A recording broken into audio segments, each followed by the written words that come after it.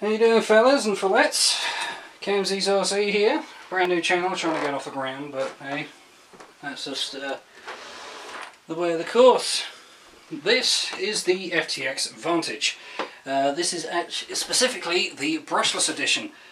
Uh, things I can tell you about it on the outside of the box. Uh, that side is French. How about that? That's French. That's British. That's the one we want. Right, so I'll come down and uh, we can see what we got here. Okay. You can see what we got here. So, uh, try and get it in the studio lights for you. This isn't a particular professional setup, I'm literally just working from home.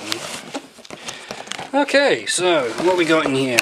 Out of the box you have... Uh, let's just focus that in, shall we? Right, so 99% ready to run. I'm presuming that's because you need batteries. Uh, has a 2.4 GHz radio, pretty standard these days, and a waterproof receiver. That's not so standard. That's actually quite quite good. Uh, got an Etronix uh, 2.1 watt waterproof brushless speed control. So, okay, so 2.1 watt uh, uh ESC basically. Uh, I believe it's a 45 amp unit in here. Uh, can take up to a 3 cell LiPo. Uh, 540 sensorless brushless motor is the way I usually like to run. I believe it's a 25, uh, 2950 in this thing. For a 1 10 scale uh, truck that is going to be a torque monster.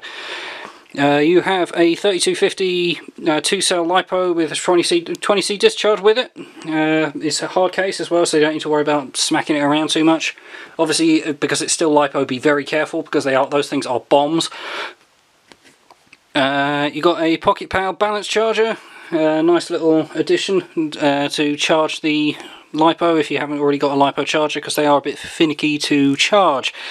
Don't, do not let them run all the way out. Uh, low profile pre-painted body shell. Yeah, I guess uh, I'd, to be honest, I'd rather have a taller body. Uh, so if I flip it over, it's the body that takes the smack and not the shock towers. But hey, that's alright. Uh, no, I'm not uh, criticising that in the least. Uh, where were we here? Moulded tub chassis. Yeah, it's pretty standard these days. I think Tamiya started that trend off. Um, yeah, my battery's running out again, so I'm just going to be changing the battery and I'll be right back with you. Right, that's a little bit better. Uh, I'm fairly new to this whole YouTube thing. Okay, so what else we have here? Uh, you have a four-wheel drive system with a slipper clutch, that's good, just so you don't end up uh, stripping out your diffs or whatever. Um, lightweight high impact arms, I'm assuming that's the suspension arms here as well, very good. Unique gearbox design for low CG, not quite sure what that is, gonna have to look that up. Uh, and then I'll put you put it in a thing for you. So big bore oil filled adjustable shocks as standard, which is nice. Yeah, you can see them right there.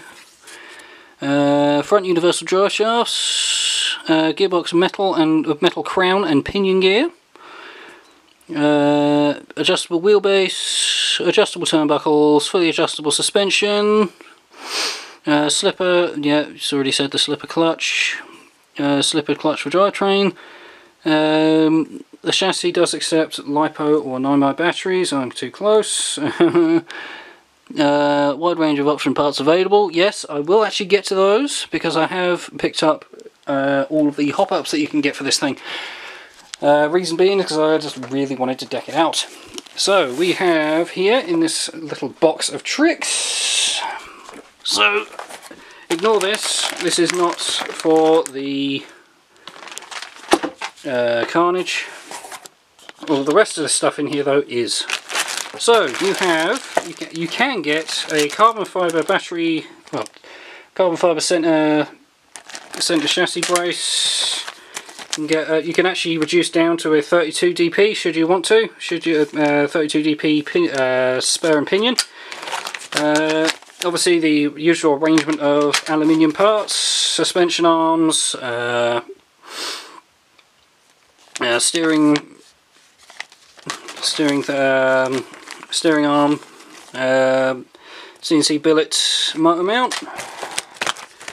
Uh, battery, even a carbon fibre battery holder. it Depends how serious you want to get into it. The sway bars. Uh, front and rear suspension, the carbon fibre shock towers. Yeah, that's the rear. Uh, the obviously the usual uh, aluminium turning knuckles and the hexagons and things like that. Alright, this is all the uh, just the usual things. That's like the suspension arms that hold them both together. And, uh, and of course a wheelie bar, just in case you do want to go to the 32DP and do some sick wheelies. Right, so, and obviously you can have all, the all aluminium shocks. The reason I bought all of these is because, why not? Uh, I intend to beat the absolute crap out of this thing, so uh, basically that is all there. Eventually looking to be upgraded into the future. But I want to run this thing stock first, okay? So we've cut the seal, well, cut it, whatever, taken off the box. Oh, you like that, huh? Is, as I told you, this is not a professional video. I don't frankly care about that being professional. I'm just a, a, guy in his, just a sweaty guy in his bath um, bedroom. A sweaty guy in his bedroom doing this. So it's all right. So we cut the seals. Uh, let me just zoom out for you. This is a very big box. Let's actually get you back on the tripod so you can actually see what I'm doing. That would be something, wouldn't it? Okay, so here you go. Yeah, face reveal for whatever, I don't know. What do people do on YouTube these days? I have no idea. It's been so long since I've been on here. Yeah, so, yeah, it's me. Uh, I'm not sure if I'm in shot, but hey. So right out of the box, rid of that. Okay, so it comes pre-packed, obviously with the instruction manual and the what looks like the wall charger. And a lipo safe bag. Very very useful for those looking to get into the brushless 2 cell side of things. This is actually a very good little kit to get. Very good little car, car to get actually. Let's open that good little car good little uh, introductory vehicle for the brushless side of things. Get all the equipment that you need. You get a looks like a wall, a wall adapter just in case you are not in the US like I am. Uh, so, well, I think if you are using US plugs, which sometimes we do over here, I think we use the French style ones, the Euro style ones. Um, so you can plug in your battery charger in from the UK to Euro, essentially, so that's good. RC bind plug. I've been looking for one of these for ages, so it's good that this one comes with one. Uh, usual array of stickers. They look like they've got pre-cutouts on them, which uh, I don't know what they're for. Perhaps this is sharing a model with the um, Carnage. Have I been saying Carnage throughout this entire video? Probably. Anyway, this is the FTX Vantage, just to clear that up. Uh, I do have one, of, uh, one or two of these already, but they are always useful to have. These are LiPo safe bags. Always charge your LiPos within these because the, the LiPo batteries are very, very dangerous. Well, they can be. So, and they're much more prone to fires and exploding than NiMH batteries are. They're a bit more finicky, but they do provide a better discharge rate. Uh, this is the warranty, all LiPo battery, so blah blah, guarantee for 30 days, you don't need to know this. and the uh, manual specifically for the Vantage, gives you all the breakdown of all parts, gives you the, oh, uh, yep, that's another thing there, parts list, exploded diagram, yeah, seems pretty simple. It gives you a breakdown of all the fastenings that you might need, part numbers and so on, so very good to review that. Uh, this is the manual for the, I'm presuming the Vantage, Carnage and Bugsta, which are all based on the same chassis, just with different bodies. So either one, of every one, any one of those three will share share the parts. Uh, operation manual for all three of them. Fairly simple. I will be reading over this before I boot up my PC. Uh, RC rather, rather than PC. Yeah, I'll be looking over that, so keep all of that. And you've got a French version just in case you're French. Right, onto the car, shall we? Eh? It's been a long time waiting. Hey.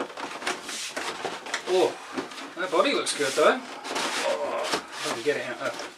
It's one tenth scale. I can literally just do this. oh, oh wow. There's nothing quite like a brand new RC. I mean, look at that. Silica bag. Don't eat this, just in case you uh, were that way inclined. But oh, this is one good-looking car. It has to be said. Let me zoom out for you so you can have a closer look. There you go. It's not a bad looking machine, eh? It hasn't even got the wing on it yet. I'm assuming that's uh, uh, in the, one of those boxes down there, but whoa, it's a good looking little car. And uh, again, it's perfect. It's four-wheel drive as well. You can see the spin those front two. The rear ones are spinning as well. There you go. Underside of it. Don't know why you'd need to know that, but one thing that I do find kind of strange is that the motor is the only thing that is exposed on the bottom of this thing. Uh, I can appreciate it's probably for airflow, but if you're going to be taking this thing off-road, you know, uh, through the mud and whatever else, and off, uh, off-roading and things, the bottom of that is just going to get clattered, isn't it? Anyway, uh, perhaps that's something that I need to uh, uh, think about when I'm running this thing. Perhaps this is more of a street racer. I don't know. Anyway, this is probably the wing in here. It feels very, very light. Uh, no, never mind. It's just a spacer box. Alright, so all the uh, the radio and things like that are probably going to be in here then. So the radio and things are probably going to be in here. Yeah, there's the radio. That's the wing. Yeah. Just goes on with two little uh, nubbins. We'll have a look at it later with the wing on with uh, when uh, we come to running it. Okay, so in that box, very neatly packed, was LiPo balance charger. A basic unit, but I should imagine it would probably work well. Um, yeah, I've already got a, a, full balance charger in the other room, so I probably won't be using that. But um, and these very, very simple, sort of FlySky style ECX um, uh, blacksmith product uh, style uh, controllers. These are they're very simple and they're very they work very well actually. I've not had too many issues with these. You know, so it's a, it's a good way to get into the hobby as well. I'm very I'm actually quite familiar with them, so yeah, that's pretty much it guys for the unboxing part of it. Uh, I've got stuff everywhere now. Uh, we'll have a close-up of the vehicle once I uh, end up putting it together. Uh, well, I say put it together. This is probably what they meant by 99% ready to run, because let's be honest, for style's sake you need the wing on, on there, so... Okay, one thing I did actually forget, because I'm so new to this, um, let's actually have a look under the thing and see what it looks like under the, uh, under the body. So these two clips back here, I'm going to put the wing on before we do take the body off, just so we can get an idea of what it looks like with the wing on. Uh, if I can actually get these body clips in, because apparently I am bad at this. Which is fine, you know. Oh, see, nice shiny new plastic. I got a freaking got a flaming fingerprint all over it already.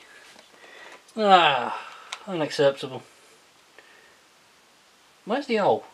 Ah, come on. Ugh. Come on, there you go. Right, wing on. Not a bad looking little machine, eh? Now that's one thing to note right out of the box. This uh, body I don't think has been trimmed properly. Gonna steer, the uh, the body catches on the steering, so that's one thing to watch one thing to watch for yours if you do decide to get one of these. Uh, This thing was fairly cheap, uh, like as brushless go, as brushless cars go. They were, it was fairly cheap. It's a good introductory section. It's a good uh, introductory car to the area, you know. Uh, two body clips, front and rear. Just two body clips, one front and rear. Okay. Now that is one very tightly packed RC in there. So this is a Etronix unit, 2.1 watts. I think that works out to about 45 amps. I think it's 2.1 watts. Uh, works out to about 45 amps, I believe. Amplified 45 amp burst current. Uh, not bad little, not a bad little unit. Yeah, that, uh, just make sure it all sounds good. These uh, this is the hard case lipo that they were talking about in the box. It already comes within the car. Uh, as far as I know, American uh, the American market does not have this ability to be able to store lipos within the car. I think they have to be sold separately or something. I might be wrong. Please feel free to correct me in the bottom. But this is a very nice, actually, feeling little lipo. Uh, good way to get you started to the hobby. Um, we'll show you how to rig that up uh, if you are unfamiliar with these um, lipos. Moving on to the car. Okay, you have a rear, uh, rear, uh, rear mounted centre diff which is back here. I know that sounds confusing but some cars have it in the middle up here, some cars have it back here, so I've even seen some cars have it up the front. I don't know um, why they have it up there, but um, I think it's mostly the drift cars the and the belt driven things. Um, aluminium drive shaft right out the box. Uh, there's the slipper clutch in there, if you can see that, that little, if I can zoom in for you. Try and get it in the light. There. That little thing there is the nut for the slipper mechanism. Uh, quite a nice little unit in all honesty. Uh, it looks like it'll work well. Um, quite a nice little, quite a nice little car, perfect for a first day, a first birthday present for someone who's already in the RC hobby. Um, I would not suggest this for a first timer because it is lipo. The li these lipos are a bit finicky to charge, and you know they if they if it's their first car, they do not need to be going very fast because uh, perhaps uh, have them in on the brushed version of this first because there is a brushed version of this. I think they have just released a 2.0 where they've re-rigged the radio uh, to a newer unit and I think they've also redone the body as well. So yeah so I think that's all they've done but only minor things. Uh, what else is there on here? It's four-wheel drive of course. Already mentioned that. Suspension all the way around. Independence uh, little three-phase uh, synchronous brushless motor. Uh, 2950, it's a four-pole, four-pole brushless. I'm trying to read on the end what it is. Uh, I think I read on the product description that it was a 2950, so this thing is a torque monster. Uh, generally, with the way the brushless motors work, the lower the kV you go, the more torque that you have. Uh, basically, the kV rating is not to be confused with kilovolt. Uh, I'm not quite sure what it stands for, but I'm well aware that it means uh, the amount of rotations for every volt that's applied to it. So this is a 2950 kV motors motor, so for every volt that's applied to it, it will spin uh, 2950 RPM. Um, so we have a 7. 4 volt LiPo here. I can't do the maths right now. I'll um, put in the calculations in my head if you're uh, calculations down below if you're interested in that sort of thing. Uh, the lipo uh, also uh, yeah we'll we'll get you set up with this as well so but yeah that's the uh, FTX Vantage not the Carnage that's the monster truck version um, I will be decorating it with little stickers. It actually looks pretty good as is. Um, and it, yeah, it's a perfect little, uh, perfect little car for someone who has been in the RC, the brushed RC side of it for a while and is looking to go a little bit faster. So yeah, let's get to the running uh, running part. Uh, I failed miserably. Let's get to the running part. There you go. you can tell I'm a noob at this. Okay, so setting up of the vehicle, taking seat body cleaners out. Don't just forgive these; these are uh, cameras, so you can get some onboard footage. I'll set them up in just a moment. So setting up is very simple. Grab your two Dean's plugs, connector. I've already got, got mine switched on, but you might need to switch it on. Done a bit of a naughty here. Always turn your uh, controller on first. so habits of old, C old RCs when uh, they used to run away from you when you didn't turn them on properly, which is fun.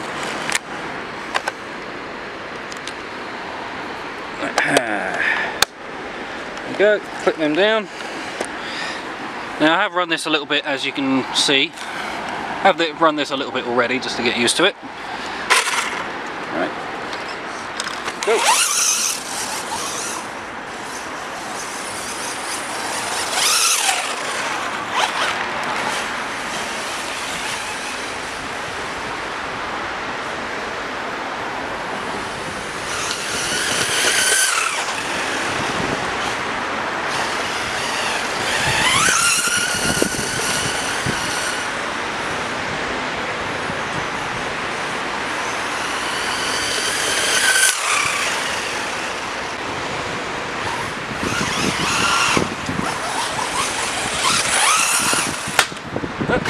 Durability test.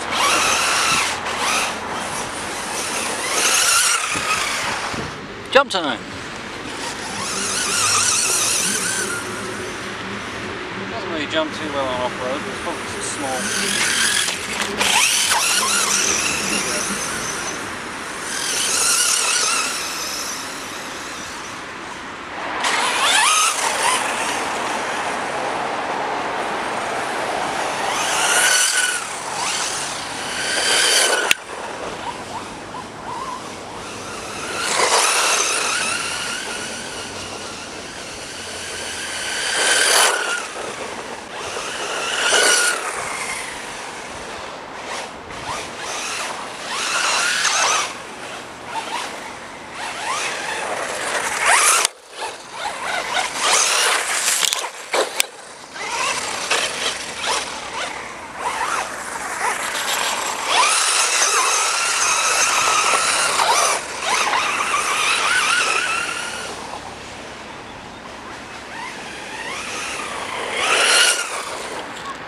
Even 3-1 battery.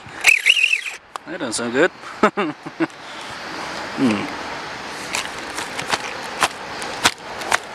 See if there's anything caught in it.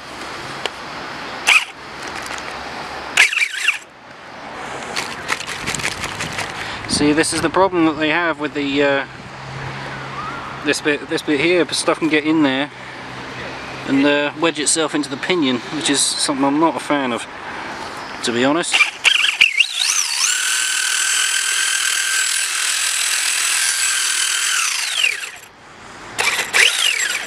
Well.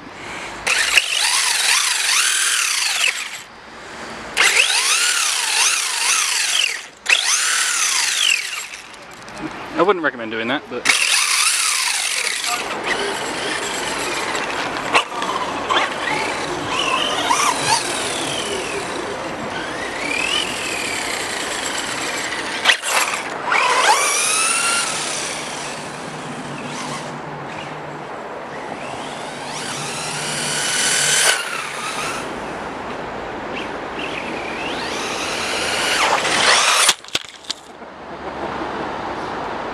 So one thing to keep in mind is the fact that this thing has a bit of a weird caveat with its reverse. So you need to stop it and then push the reverse button once again. Most cars you don't have to do that. This is only exclusive to the FTX Vantage as far as I know. But I could be wrong. So something to watch out for if you're thinking about getting one of these.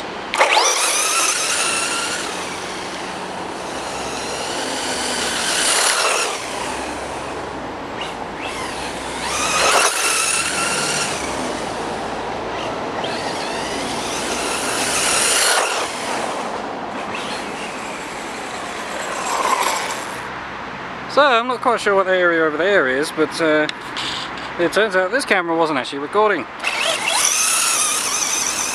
So as you can see it does have a little bit of trouble with the grass.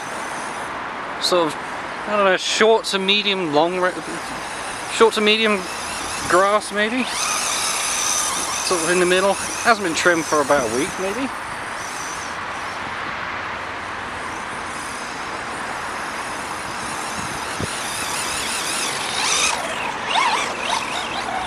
Does look kind of slow, but that's probably because it's actually quite a big distance there.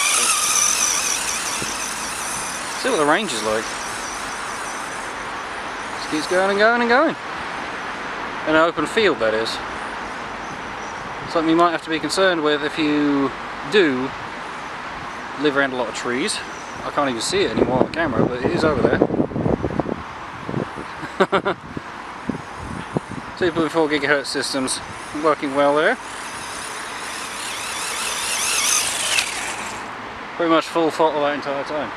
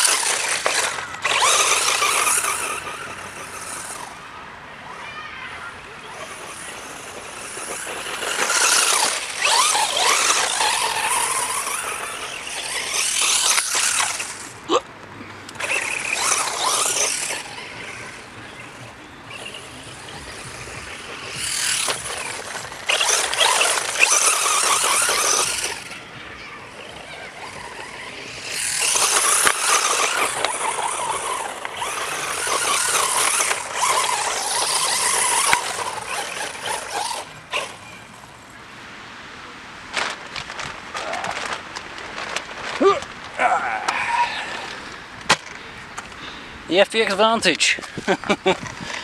Not a bad little machine, eh? this is a very good little, uh, good little runabout if you've been in the RC hobby for a while and want something a bit faster. Uh, the only reason I stopped is because low battery the LiPo cutoff is cutting in, so done well today. You've been through, you've well, started with silt. I don't know what all this stuff is uh, down at the, the, sort of sand pit. I don't actually know what this stuff is. Because it's not sand, it's too dense, but it's also not like rocks or anything either. Because it gives under you, so I'm not quite sure what it is, but sure gave our uh, sure gave our little uh, FTX a run for its money. Oh, trying to get it in focus for you. I'm professional, really. so yeah, FTX Vantage. Apart from the little uh, little hiccup at the beginning where I think maybe a, just like a rock or maybe a, a, stone got caught up in the uh, spur gear assembly, which is why I'm not really a fan of this open motor arrangement. Okay, you get more ventilation, but you also risk having things go, come up and fly into your spur and pinion assembly and have them uh, jam up in there. So yeah, I hope you uh, enjoyed the running video of this. Uh, stay tuned for my build series of it, where I'll actually end up putting all the upgrades on. Because this thing, little thing deserves it. Um, but yeah, if you enjoyed the video, I'm uh, happy to have lightened up your day, and hope it provides some sort of uh, insight for you. Uh, also hope that the uh, onboard cameras captured something nice as well, so hopefully you get a good idea of how fast this thing is. It's not too fast, but it's also not slow. It's faster than a faster than traditional brushed uh, RC, but not quite as fast as the normal brushless is are. So this is it's a good entry level brushless, I'd say. Good entry level brushless. You get everything you need. You get the car that you can treat how you want. In my case, poorly. Uh, you get a two cell lipo with it. You also get a charger, and you get a little lipo bag as well good little uh, good little introduction to the brushless side of the electric RCs. So yeah, happy you uh, happy you like it, and uh, see you in the future. Stay tuned for the uh, build series. But ta for now. Okay, so another quick one. Uh, so you have your LiPo charger. It seems that this one here, this is the LiPo charger. I plugged it in just to show you how you'd connect them. So if you're using the one right out of the box, uh, this is a two cell battery, so you'll notice it has three wires. So it has a negative and a positive for each of the cells. And on the bottom, on the back here, you'll notice that there's three ports. So it'll only go in one of them. Uh, this is a two cell LiPo, you want to put it in the two cell slot. not telling you how to suck eggs, but uh, there are some people that would like to know this, so I'm including it anyway. Mm. So this is a balanced charger, so when it uh, basically it has each of the cells uh, shown here and when the